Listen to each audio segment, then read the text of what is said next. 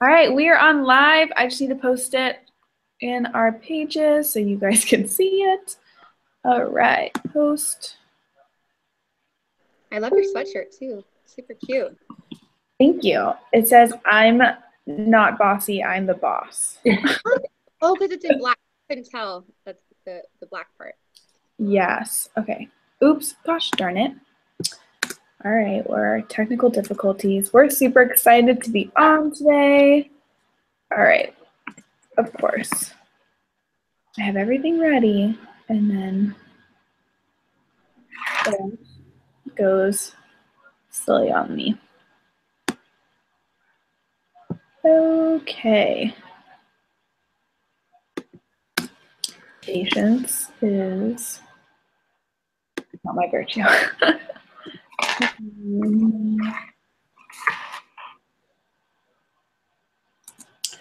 okay, guys, is happening. All right, we are just getting settled real quick. I have one last thing I gotta grab. Getting my unit on here. And Jessye's unit's watching, hopefully, because Jeff is amazing.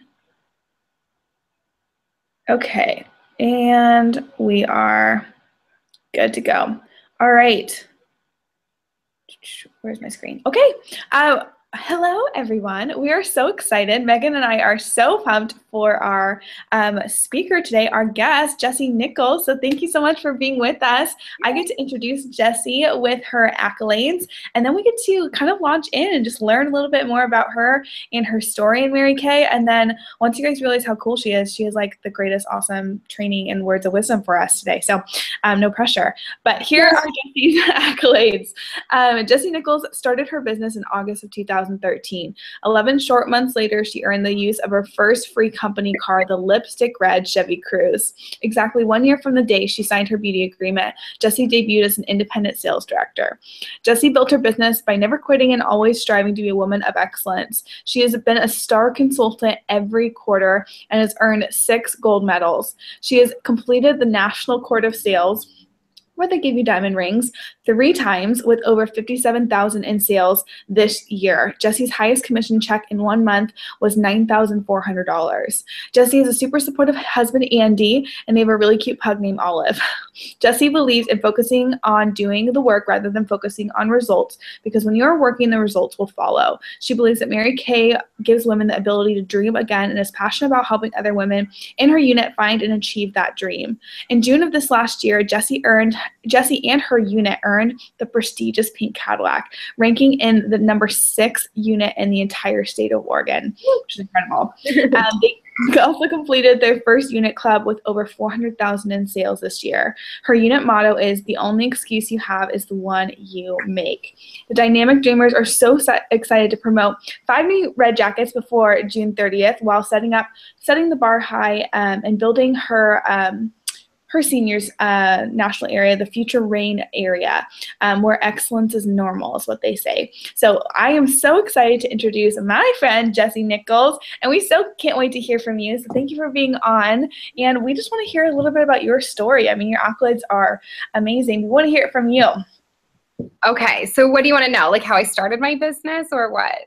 Yeah, kind of just like your little ice, your mini mm-hmm. ice story, just kind of your journey Mary Kay from from you. Okay, so I knew about Mary Kay. So and it's funny, I forgot about this. So when I was 18, I met this girl named Jamie Simonis, and she was amazing. And she was a sales director, and she was like 21, and I was 18. And I just thought she was so cool.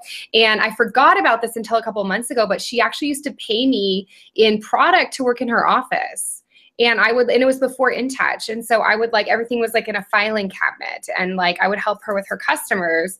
And I completely forgot about that. But anyway, so I did, I did some Mary Kay parties with her and it was super fun. And, um, you know, I, I wanted to join her team. She was earning a car and she told me, oh, well, you know, you need to have at least $1,800 or this isn't gonna work. And i was like well i can't do it. So um it's too bad she didn't just sign me up because i could have figured it out. You know what i mean? So anyways i could have been in mary kay 10 years ago but i wasn't. So um used the foundation used the products i liked it kind of lost touch with her when i moved to portland and kind of started using other products things like that um honestly kind of thought Mary Kay was for like little Southern Baptist women with blue eyeshadow. Like I didn't really think it was for me.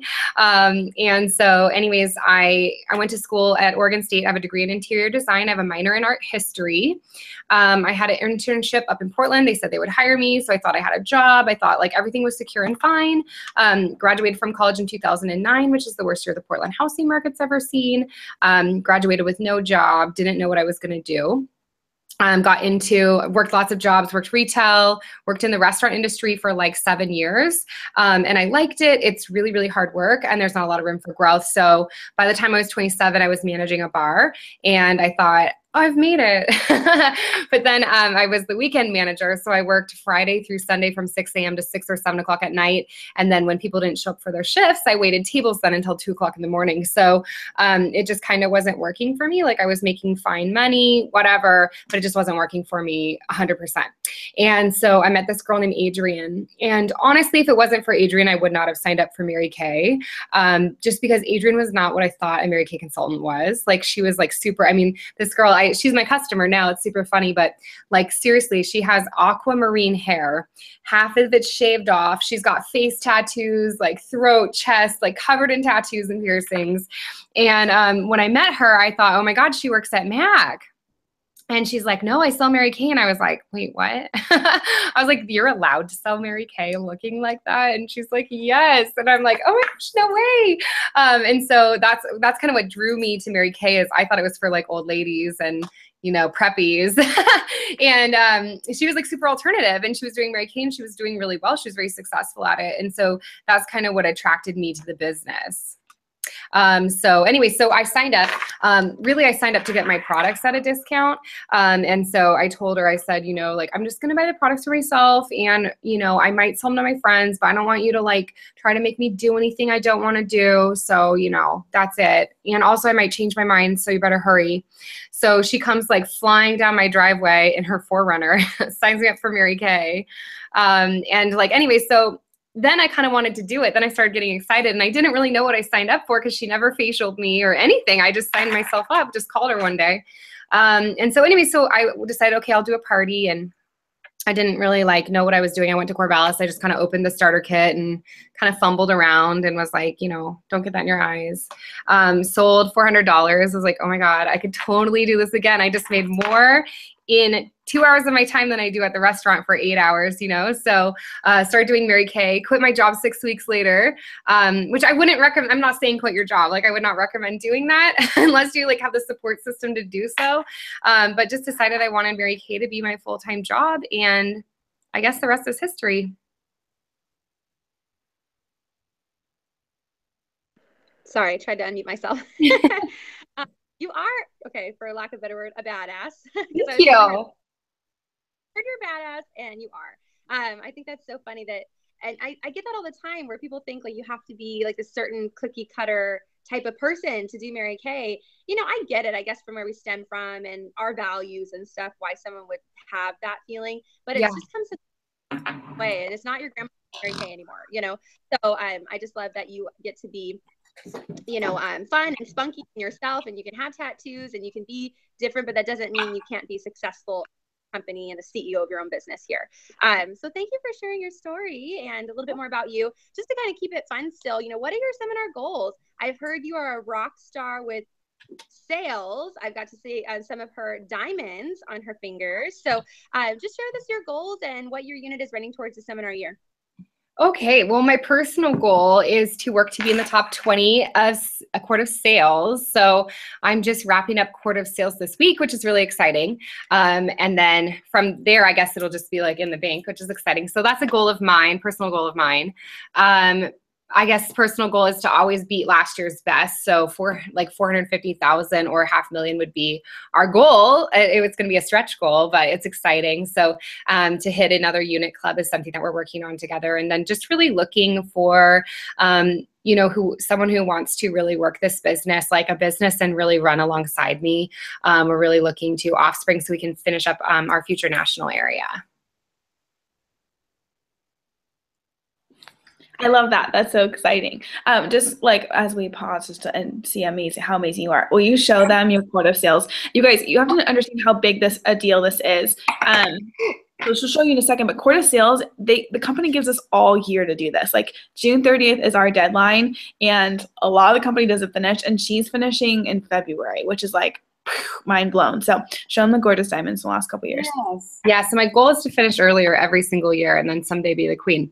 Um, so this is from last year. I'll kind of the light. I had to move because the light was shining in my eyes. So I don't know if you guys can see her, but super pretty ring here. Can you see that? I don't know. The light is super bright. Yeah. There we go.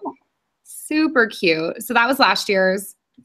And then this is the year before. And they always have different ones you can pick. So this one I picked just because it was kind of different. I don't know if you can, there you go. Yeah, isn't that beautiful?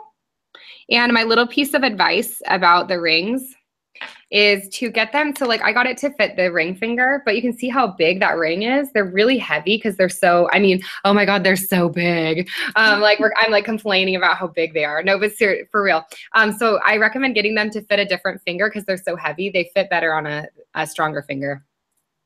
Just a little piece of advice. yeah, just diamond advice from Yeah, and it comes on a throne. You get to pick this up. Isn't that so cute? It goes like this. So cute. You get to walk across stage and pick that up. Megan, your face is frozen on my screen. So um, just so you know. Okay, cool. Um, sometimes if you jump off and then jump back in, you can, but do what you need to do.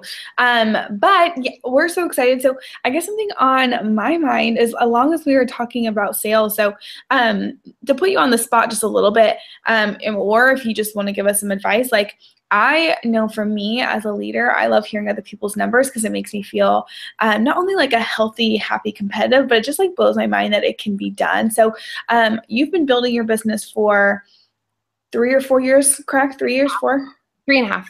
three and a half, perfect. And so um, with your business being built for not a ton, a lot of time, um, tell me like because i know when i get to hang out with you and be over like your statistics for like what your customer reorders are per month what your wholesale order is and then any tips that like customer um retention and like building your customer base that you have Okay, yeah. If I forget to answer one of them, ask me, okay? Okay. Um, so basically, well, I now I can't even remember what the first question was. I'm so Well, sorry. share a little bit of your statistics of your like what your reorders are every month and like what that looks like for your wholesale order per month Okay. Yeah. So so okay. So basically, my kind of thoughts are to can number one thing is consistency. So you have to if you want to do something like become really good at sales you have to be consistent. And how you become consistent is by consistently seeing faces. And so um, you know once i decided i wanted a full-time business i knew the minimum that i could do was 30 faces every single month. Like that is the bare minimum is 30 or more faces because i have to be able to you know especially when i first quit my job you know i had to be able to support my family well my part you know my husband obviously works but i had to be able to support my half of what i had to pay for by just doing sales so i had to become good at sales and so how I, be, how I became good at sales is seeing enough faces so a lot of times when people tell me they're they're just like, "Oh, my sales are low." You know, how many faces are you seeing? 5? That's not enough. Like, you know, we got to see like 30 to 50 faces to really become good at something we do.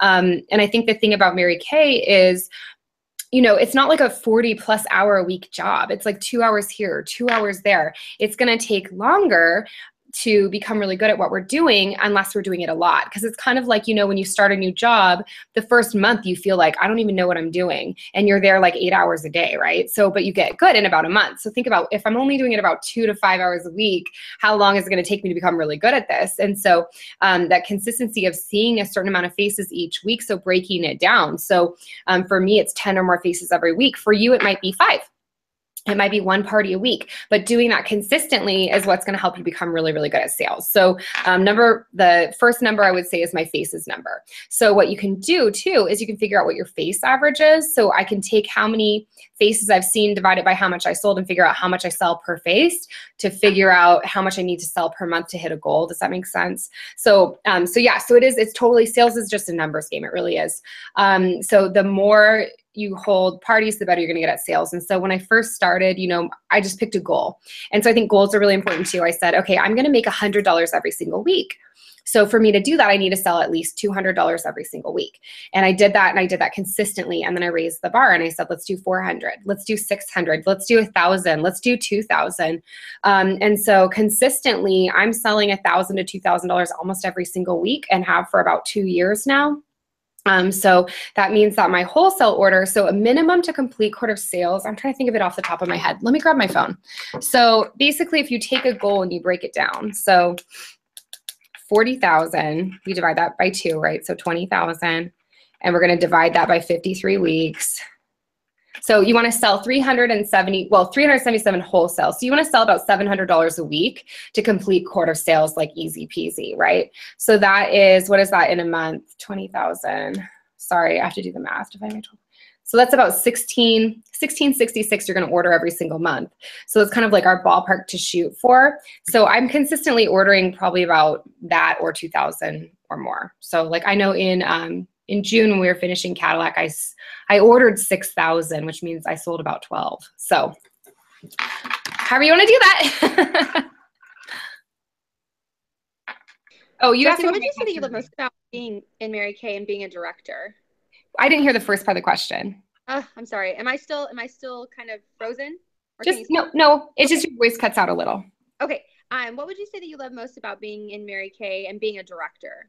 Hmm. Um, what I love most about being a director is the influence that comes with being a director. So, um, being able to uh, have a positive impact on someone else's life, um, being able to teach women this skill to make income is so huge because I think that, um, you know, Mary Kay Ash, she wanted this business to be a tool for women to generate money and it really is. And so i love teaching women how to do that how to um, kind of become victors of their lives they're victors of their you know bank account and really figure things out. I think that's really fun it really brings me a lot of joy Sorry, it takes us always a second to unmute ourselves. Okay. Um, that's great, and I love that. You know, you hear some people that are right off the bat, like when they start, start Mary Kay. Um, you know, I think I believe that I was given a platform, and then Mary Kay was that platform for them to be able to reach other women. Some people, you know, don't come in with that vision, and it kind of grows as they're in it, and they kind of see that for themselves. Um, and so, you know, for you, you know, something that I'm curious about is um, just like what has been like a pivotal moment or a pivotal shift in your business? Obviously, um, you've grown some amazing goals. And so, um, what's something that you shift in order to either become a sales director or earn your Cadillac? Or like, what's the biggest like aha moment that you've had in Mary Kay? Yeah, I guess like what is that mindset? Um, I think that sorry it's kind of like hard to to like in my mind it's like going through file cabinets um no i think like the most pivotal thing is just like if you work this business like a business, it will pay you like a business. And I think that, you know, from day one, after I quit my job and I was kind of like, eh, I don't know if I want to do this, like, meh, uh, my mom was like, uh, it's your full time job. So you better go work it like a full time job. And I was like, wow, okay. And so I kind of took that mentality of, you know, um, how could I work this business like a full time job? And I'm not saying I work my business like 40 plus hours a week. I don't. Um, but how can I make the time I'm putting into my business be, you know, really, really um, focused, like, and just to really get me to where I want to be, if that answers your question. Yeah. So just really working this business like a business because it will pay you like a business. And you know, if you don't want a business, that's okay. If you want to work it like a hobby, it'll pay you like a hobby. It's just understanding that. And sometimes you shift down and sometimes you shift up. And um, you know, I think that's a really great thing about this business is that it can go along with your life for sure. Has there ever been um, a time that you've you because obviously you strive for goals and you meet benchmarks mm-hmm. and you set the expectation higher every single time that you do it, but has there ever been a time that you haven't reached that goal? How did you work through that? Because I know that can be really devastating for some people and can stop someone in their tracks and just make them feel discouraged. So how did you work past that hurdle that you mm-hmm. didn't reach it? What did you do to kind of keep yourself moving forward? Mm-hmm. You know, I heard something interesting this morning. I was listening to um, Pastor Stephen Furtick, and he was talking about um, basically something that he said that really stuck with me is motivation will only take you so far. You have to have inspiration, and so I think that when you have that kind of calling, or you you know your why, I guess is what we're gonna call it. When you know your why, that will get you through anything. But um, you know, yeah, absolutely. I probably miss more goals than I hit. It's just that the goals that we see are the goals that people hit, right? Because they post it all over Facebook. Um, so absolutely, I miss more. I miss more goals than I hit, and that's okay. But really, I think it's kind of it excites me because I'm like, oh my gosh, how much greater can I become? Um, is something that I kind of think about. So, for example. Um, I think I'm great at team building now.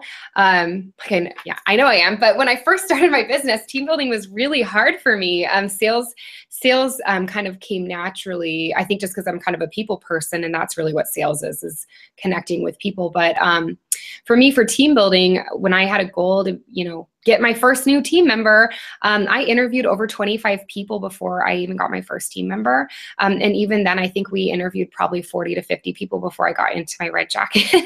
and, um, you know, I think a lot of people that would have caused them to quit.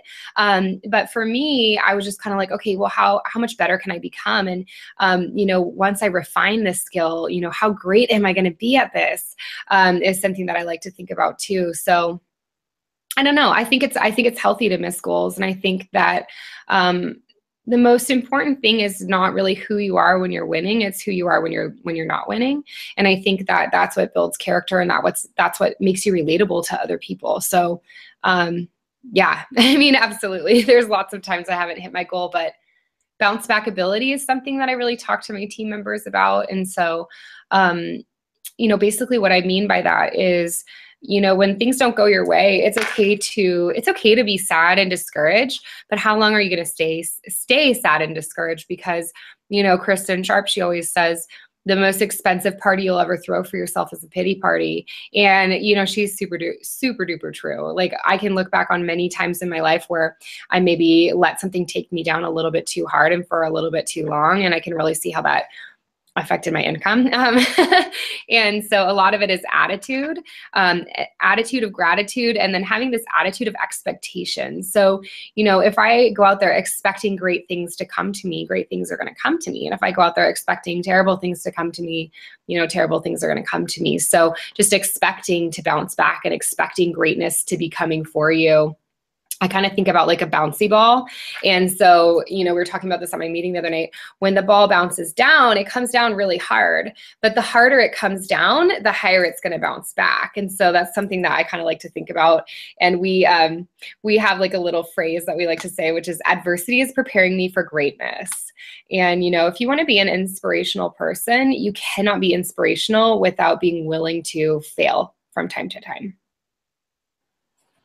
Gosh, I love that. That's, I mean, it's just everything that we stand for. And so um, I love hearing that. And I love you talking about, I mean, and just hearing you pull from wisdom from all sorts of different sources in your I mean, you're a pastor, you know, I love Stephen Furtick. We love Stephen Furtick and um, just like the nationals. And so you can tell like where your mind is and, you know, what things you're plugging into yourself um, to be able to expect those things. So having that, you know, someone filling your cup while you're outpouring is really great. So my question to you, you kind of sort of answered, but if you have any additional things to put on top of it was, um, what's something that you're really passionate about that you and your unit are working on or something that like you know, we all kind of have our little, niches that we are going um, through with our units right now. And, and what is something that you're really working on or uh, excited about that you're training on? And we'd love to hear a little bit about that. Oh my goodness. Well, I kind of follow the you know the rebecca evans her 13 week training or 13 yeah 13 week training program. So um, really i think it's just really important to focus on the basics in this business. Um, i think that um, the basics you know repeating the basics over and over and over is what creates consistency and that's how we become you know the masters of what we do and so we focus a lot on that. Um, i think that my favorite thing to talk about is um, like personal growth the head game um, so my personal focus for myself is um, to just be being the best version of myself that I can be. And, you know, I would never ask any of my unit members to do something I'm not willing to do. And so that's like a huge focus of mine. Um, so I don't know if this really answers your question, but um, big focus on my life right now is doing the miracle morning. And so I've shared that with my unit members as well. And um, one of my girls, Rose, is doing it with me, and it's really fun um, to check in with her about that. But basically, just um, understanding that what we put into our mind is what we're going to become. And so, you know, if you read The Miracle Morning, you can listen to it. I got it on, I don't like reading, whatever. I like to listen to things. Um, so I got it on Audible. And um, to be honest with you, like the first half of the book, I don't really even think you need to listen to. You could like skim it real quick, but get to the part where he explains how it works. Um, and that's, that's the part that's really life changing. But basically, um, the first thing that you're doing in the first 60 minutes of waking up every single day. So, um, you know, reading something positive positive that's going to help me grow as a person. Exercising for at least 10 minutes, really, really quick. And, um, you know, because that helps us process. So just things like that. Um, the personal growth to help us become, you know, who we really want to be and attract who we want to attract. Does that answer your question? okay. I don't know the question, but I liked your answer. I liked your response. Um, I know we're, we're getting close to the time, so I just wanted to see if there was anything extra that you felt like you wanted to share or anything that um, you feel is really important for anyone to know, whether they're maybe new in the business. I know for my unit, we have a lot of brand new girls that are maybe excited but terrified at the same time. You know, you're a great example because you're awesome with your sales, but that could be a big fear for a lot of consultants. What if I don't sell anything? What if I'm not good at this? And all of those you know questions we ask ourselves or women who are working towards really big goals in their business and and maybe aren't quite where they want to be for the seminar year end what advice would you have for them and um, any positive words you have to share yeah, I mean, I think that I've never met anyone in my entire life that was really, you know, doing Mary Kay and like actually holding appointments, actually working the business according to the business model and wasn't getting to where they want to get. So I think that um, you know, kind of like we say in my business or in my unit is um when you hold appointments maybe you're not you're not necessarily seeing the sale right at that appointment. You're going to see it. You're planting seeds.